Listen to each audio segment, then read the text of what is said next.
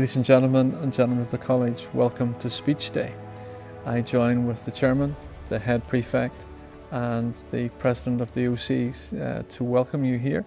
We're trying to convey uh, what Speech Day would have been like.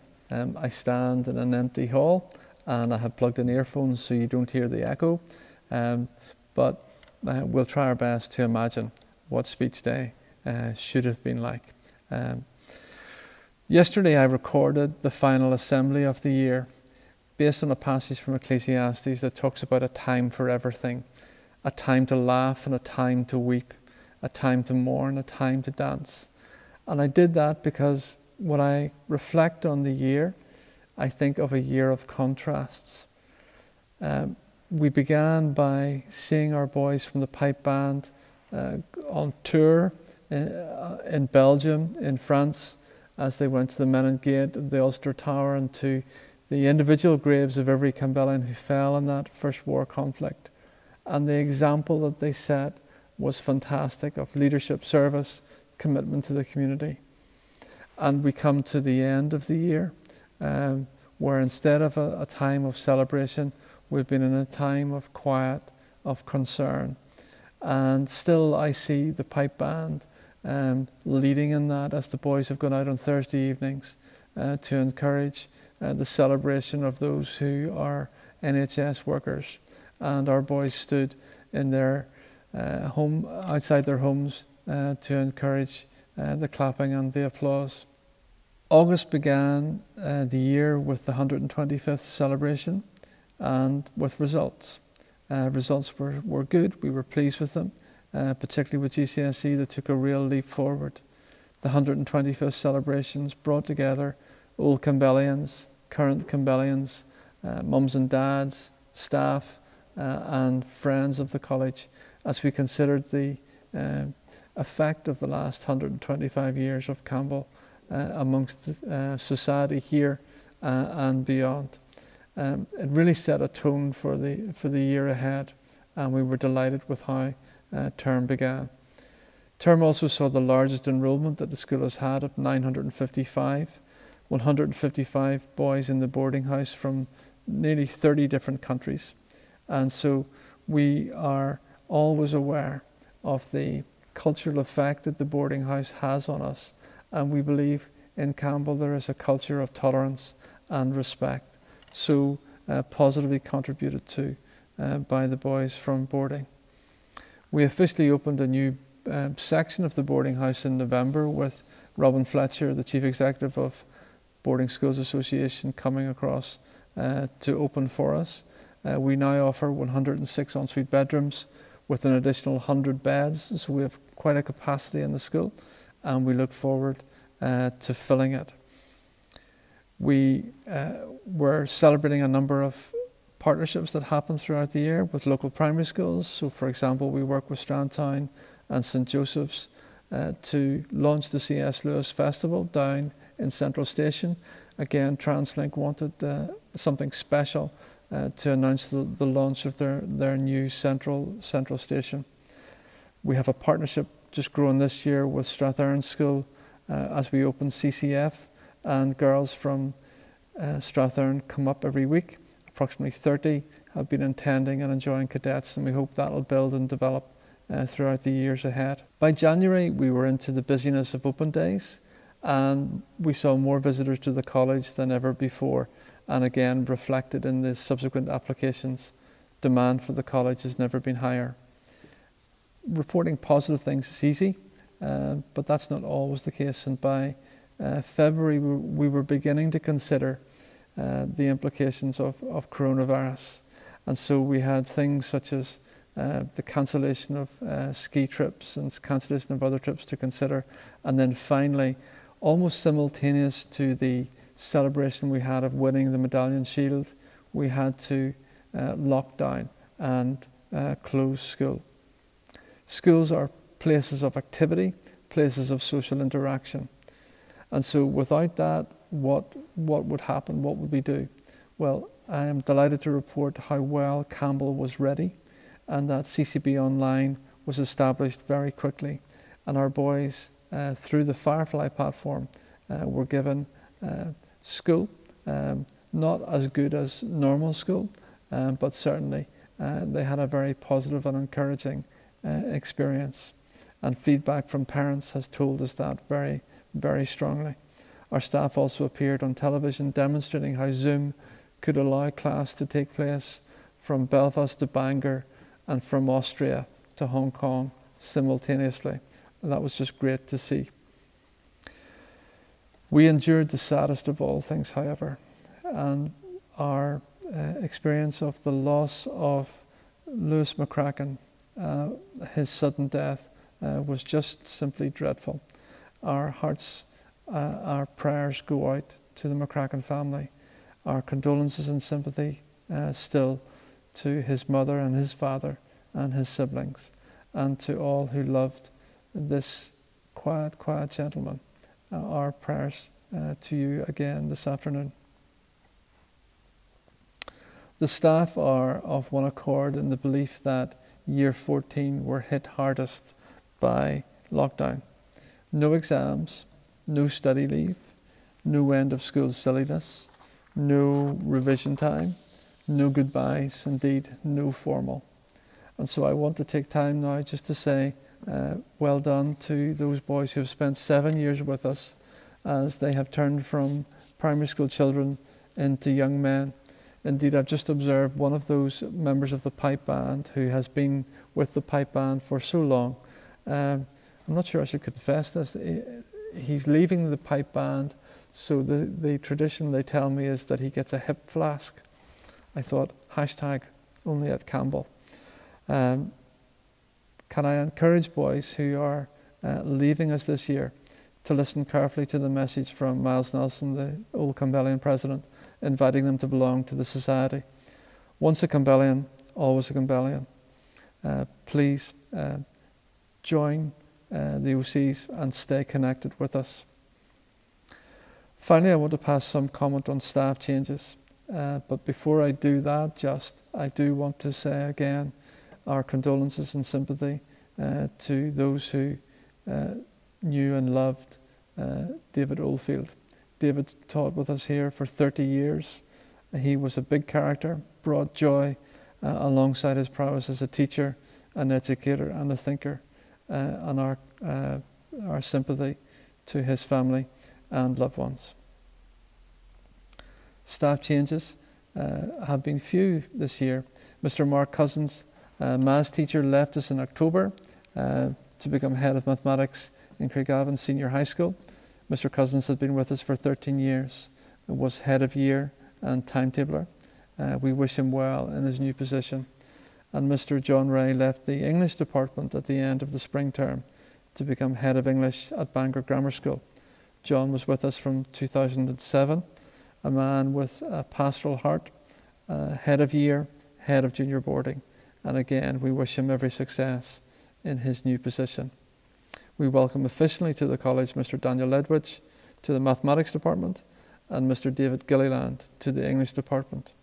We uh, want to say welcome also to those who are joining us in a temporary capacity Mr. Connor Spence, Mr. Robert Hunter to the mathematics department, and Mr. Sam McClure to the English department. And finally, may I say how disappointed I am that the Reverend David Bruce OC 5907, the new moderator of the Presbyterian Church, was not able to join us as our chief guest on Speech Day. Um, David is also very disappointed and expresses his hope to be with us uh, throughout uh, the year ahead. I remain immensely proud to be the headmaster of this wonderful school. This is my ninth time in delivering uh, the Speech Day address, and it remains a joy for me to do so. My best wishes to one and all for the summer ahead. I look forward to seeing you in September. Ne Obliviscaris. Thank you for listening.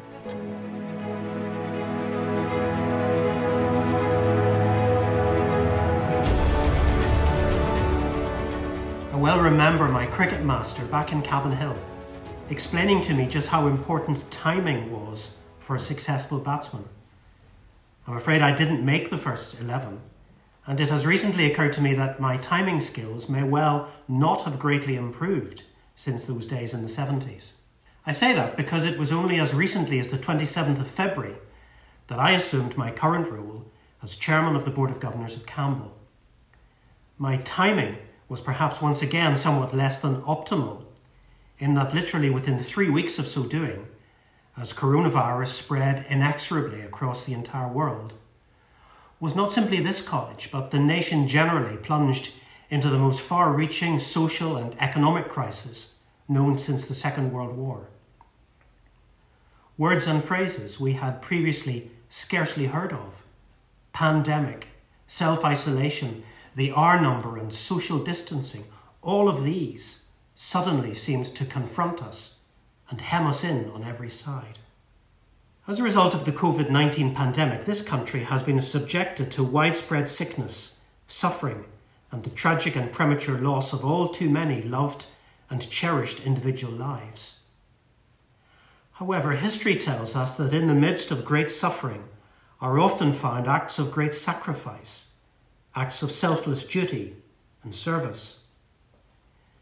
As a school community, we remember with gratitude and thankfulness the work and dedication of all those on the NHS and care home front lines whose tireless efforts have controlled and now suppressed to a significant extent the spread of the virus in our midst. Within the Campbell community, there has equally been much dedication and service for us to now recognise, command, and be proud of. Even though not obliged so to do, the college kept open its doors throughout the very worst of the lockdown period, forming a hub in conjunction with Strathearn and enabling the children of NHS and other key workers to continue to study in a safe and supervised environment. I want, on your behalf, to thank and pay tribute to all the Campbell staff who undertook and discharged these important responsibilities. Equally, I want to formally recognise the huge amount of work and effort which teaching staff have put into a multiplicity of imaginative and inspirational remote learning programs and strategies, encompassing not only curriculum based teaching, but also extending to embrace the wider aspects of pastoral care. Programs which we are reliably informed have been envied by many other grammar schools and which we believe have been surpassed by none. Again, on your behalf, I want to thank all members of teaching staff who have so enthusiastically stepped forward and delivered to such a high level the design and deployment of the college's remote learning programs, and also to thank staff for all of the huge effort they have recently put into the formulation of proposals for this summer's GCSE and A2 grades. As one of only two voluntary B grammar schools in Northern Ireland, Campbell receives from the department no financial assistance towards the cost of capital expenditure, including the costs of maintaining our buildings and estate, all of which we must fund ourselves from our own resources. Those costs, which are substantial, have continued to accrue relentlessly since March. And yet, the college, by reason of the lockdown, has lost out on a full term of boarding fees and its summer letting fee income. The current crisis has, as a result, had a serious adverse impact upon the finances of the college, and as a result, substantial programmes of maintenance and refurbishment scheduled to take place this summer have unfortunately had to be deferred into the future. All of that means that the continued practical, moral, and financial support of Campbell parents, pupils, Old Campbellians, and friends of the college is now all the more important and all the more appreciated as we in the board, through difficult times, seek to safeguard the financial viability of the college and to do all that we can to ensure that current and future Campbellians will be able to enjoy not only all that the impressively varied curriculum here has to offer, but also the extensive extracurricular benefits which being part of the Campbell community has for many years meant for the young men of this college.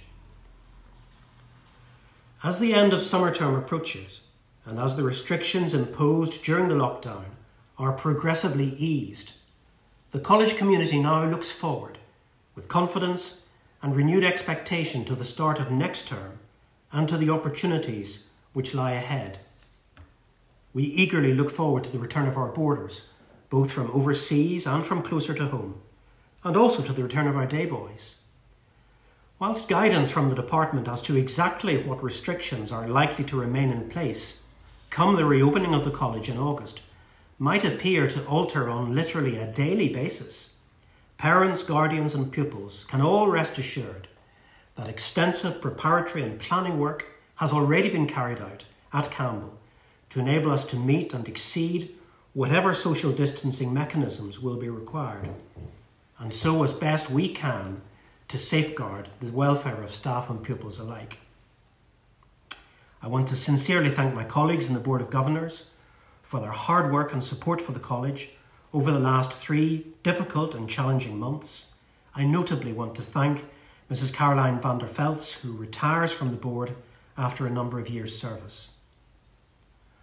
For those young men amongst you who must now wait patiently for results in the forthcoming GCSE and A2 assessment processes, including all those who will leave Campbell at the end of this term, we in the Board of Governors wish you every success and real fulfilment and contentment in whatever endeavours or fields of activity you may have set your hearts upon for the future.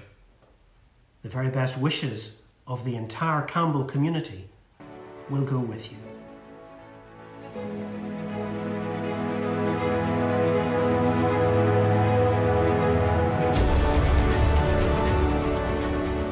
Good afternoon, everyone, on what is certainly a very different looking speech day.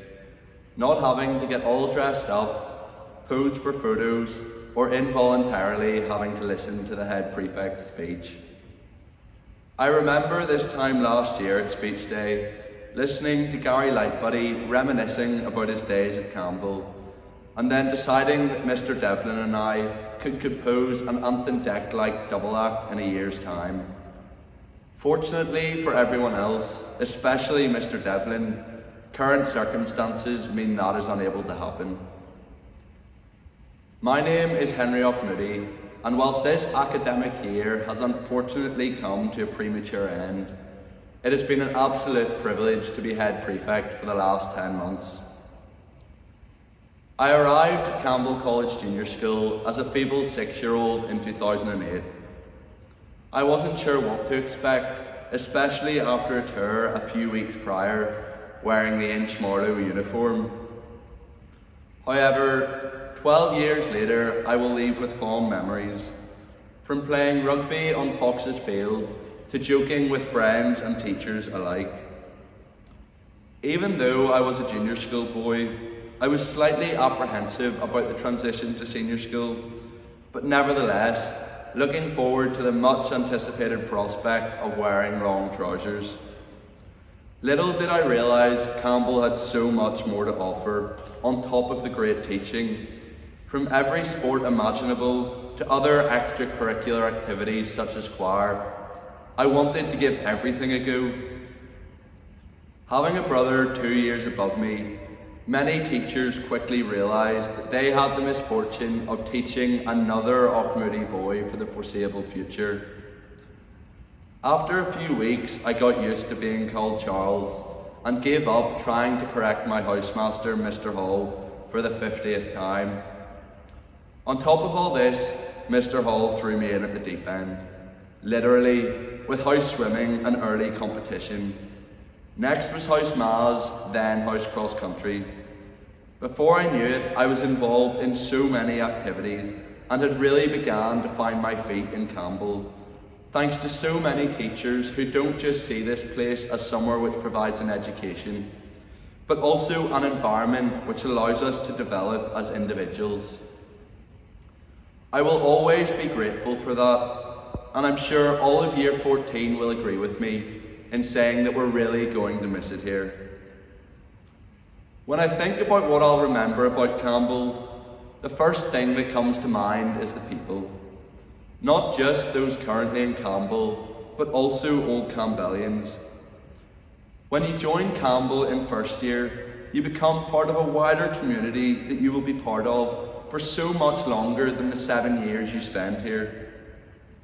Also, the opportunity to meet people from all walks of life ensures that you make memories here you couldn't possibly make anywhere else. I'll always remember in first year when Mrs. Wilson let us out of music half an hour late. So the logical response of 25 11 year olds was to arrive half an hour late to geography. Safe to say, Mrs. Irwin didn't quite agree with our reasoning. Being part of Campbell is all about joining these little dots into realising that you're part of the legacy that Campbell continues to create. And the only way to join the dots is to put yourself out there, move away from your comfort zone, and just embrace it all.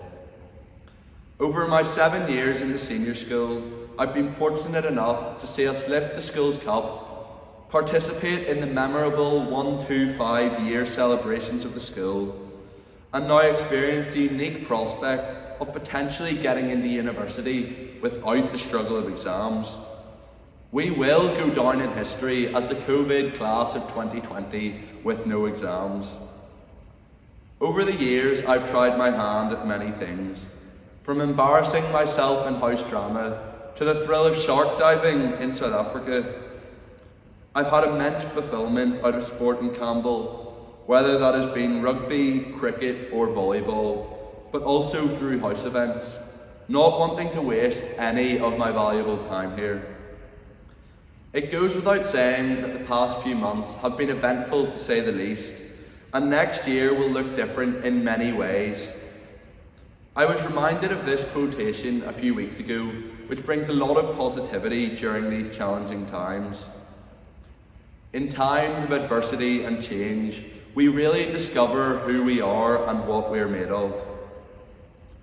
Whilst we don't know exactly what school will look like for all of you in September, it's important that you work together with fellow pupils and teachers to build back up the unique community that Campbell has always had to offer, but also to enjoy whatever time you have left here. I would like to pass on my best wishes to George Robinson, the incoming head prefect. Having been through junior school, played rugby and sang in the choir with George, I couldn't think of a better suited pupil to help lead the school through what will no doubt be a different looking academic year and wish him all the best in the role. I take this opportunity to publicly thank Harry, Ross and Ruben, the three deputy head prefects this year, who have all been a valuable asset and made my job as head prefect so much easier. Credit must go to Mr Robinson and all the teachers who have put up with us for so long and for the constant reminder that they are not the ones sitting the exams. Well, on this rare occasion, we can fortunately say, neither are we. As I move on, hopefully to Exeter University in September to study MAS with finance. Honestly, your dedicated work makes Campbell the place it is, and along with each individual member of staff, help this school to go from strength to strength. Years ago, I dreaded the alarm clock on a school morning. Now, I dread the thought of no longer walking through the doors as a pupil. To everyone that has made my journey what it is, thank you. I will never forget my time here, the memories I've made, but most importantly, the people I've shared my 12 years with. Ne Obliviscaris.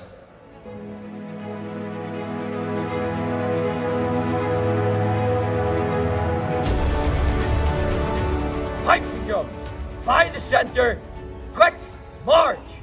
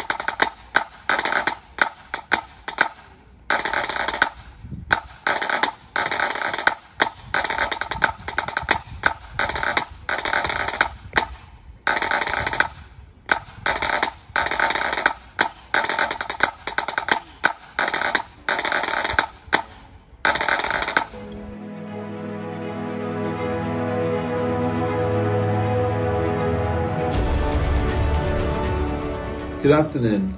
I am Miles Nelson, President of the Old Campbellian Society. I am delighted to report to you that Society continues to flourish. We look forward to welcoming this year's school leavers as members of the Old Campbellian Society and invite you to become involved in the many different activities that will allow you to stay in touch with your friends and the college. On a sporting front, we have cricket and hockey against the college not to mention the Old Campbellian's golf competition and Boxing Day rugby match. Socially, the Society's annual dinner is held in the college in February. This provides an excellent opportunity for reunion with old class groups or teammates. There are opportunities to get together with old Campbellians outside Northern Ireland as well. Our website continues to expand and our highly celebrated magazine, the old Campbellian, keeps us right up to date with all news and views. The Society exists to preserve the bond that unites us through the college. Old Campbellians are here to help each other. The Society's success depends on what we make of it, and I strongly recommend you all become involved.